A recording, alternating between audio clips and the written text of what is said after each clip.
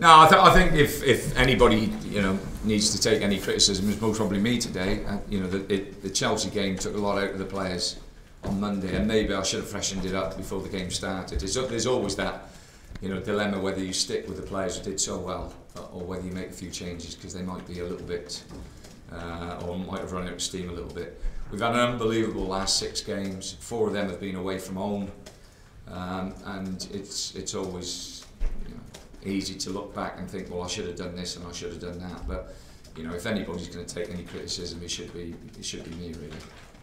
Arsenal pretty hard to play against that first half. Well, Walcott up front, I, I think Walcott is outstanding as a front player. I think his movement is, is absolutely first class. You know, you know he's going to score goals and can score goals.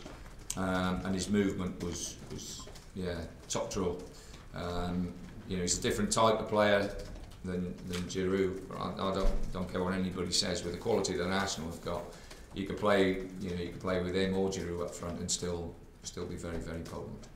Fans are actually only suggested didn't take anything away from your, end of the season. In that Oh no, no. You know, I said to him afterwards. You know, to the six games we got, what did we get? Twelve points out of six games. It's absolutely fantastic achievement, and um, you know, to, to play against the teams we played against, and the way we played as well was was brilliant. Like I say, today you could say it was a game too far. I'd more, I'd, I'd rather take the responsibility and the blame and say I really should have freshened it up. Gareth McAuley scored. I've been absolutely slaughtering him for not scoring, um, and I think when he scored, I think he had a quick look over. Um, but now really pleased with him. He's been outstanding this year. Have you got a new contract?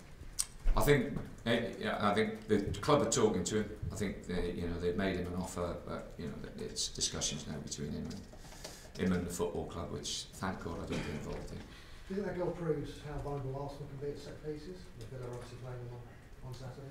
Everybody can be vulnerable at set pieces. You know, it's not just Arsenal we've scored against this year off set plays. You know, you, you have to you know you have to recognise and understand that set places for plays for and against uh, are very very important, and um, you know we work hard on that. Did you expect Walcott to play today? Were you surprised that they played him? I was hoping he wasn't going to play because of the speed. because of the pace. Yeah, yeah, the pace and the, the movement. I think he's got. Like I say, I think he's an outstanding player. If your team children, uh, you say that um, you don't get what anyone says about Giroud. Who poses the biggest threat?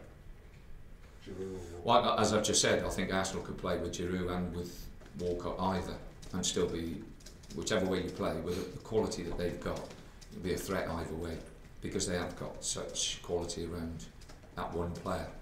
Um, it's just different. He's just completely different to Giroud, and um, you know, so, no, I ain't going to tell Arsenal what to do and what not to do.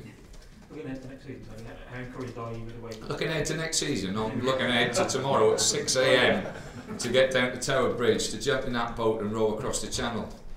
You know, that that's my thing. Seven days in a, in a boat now, for, you know, for charity. So that's the thing I'm looking for, or not looking forward to, but thinking about more than anything else. How do you set the season? Uh, I think it's been fantastic. It's most probably the toughest job I've had for all sorts of reasons. And uh, the players have been fantastic. To, to get to 44 points, I think we finished 13th is is brilliant. You know, it's absolutely brilliant. And they deserve a lot of credit. 27 points you've taken from half a season. Yeah, I know. 54 points would put you in the top 10, wouldn't it? Yeah. So that's what we'll expect next season. I'll think about that when I'm rolling that channel.